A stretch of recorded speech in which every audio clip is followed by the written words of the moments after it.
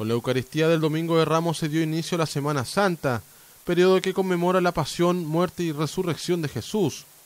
Hasta la iglesia catedral llegaron más de 250 personas en busca del tradicional ramo de olivo, signo de paz, amor y tranquilidad en los hogares. Es un símbolo de paz y de tranquilidad dentro de la familia, para estar en armonía y en contacto con, con Jesús es algo muy importante dentro de lo más importante de la Iglesia Católica, así que por eso eh, vinimos justamente hoy a, estar presente en este acto. Dios por todos los que nos ha dado durante el año y empezar esta nueva renovación que es volver a nacer en Dios. Un tema bien especial porque yo soy de Santiago y iba con mis dos abuelas allá a Domingo Ramos, así que ahora por tradición vine sola, pero eh, es algo bien especial para mí. Es la forma que uno como católico cristiano, creyente, ¿no es cierto?, se entrega en las manos del Señor. motivo especial para toda la familia magallánica, ¿cierto?, reunirse, empezar esta semana,